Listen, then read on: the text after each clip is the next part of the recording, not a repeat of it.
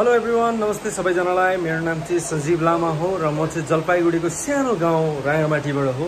र तपाईँहरूको निम्ति छिटोभन्दा छिटो एउटा राम्रो गीत लिएर आइरहेको छु। यो गीत चाहिँ हिन्दीमा छ र यो गीतमा लिरिक्स साथसाथै सिङ्गर पनि मै हो। एकदम तपाईँहरूलाई छ। यदि तपाईँहरू यो च्यानलमा नयाँ हुनुहुन्छ भने प्लिज लाइक कमेन्ट सेयर र सब्सक्राइब गर्नु नबिर्सिनु होला र मैले कहिले पनि सोचेको थिइनँ कि यस प्रकारले म चाहिँ एउटा गीत निकाल्छु भनेर त्यो पनि अब हिन्दीको होइन।